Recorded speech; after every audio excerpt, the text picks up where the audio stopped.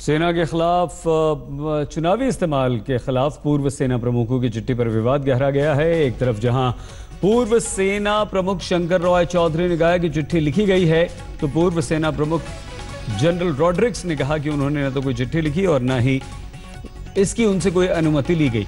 हालाँकि राष्ट्रपति भवन ने भी चिट्ठी मिलने से इनकार कर दिया। Just said to the president of India that since The political environment is such that even established institutions like the Election Commission are being more or less ignored.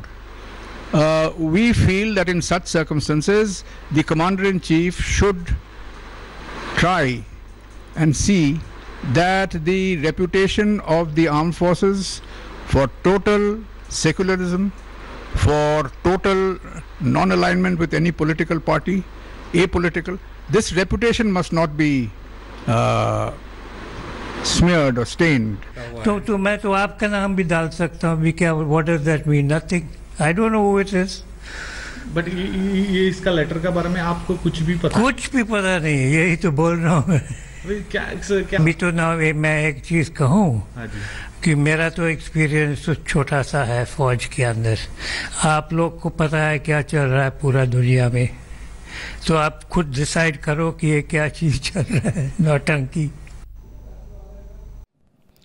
Latest खबरों के लिए यू ही देखते रहिए आज तक। और इस वीडियो के पसंद आने पर लाइक शेयर एंड सब्सक्राइब करना ना भूलें।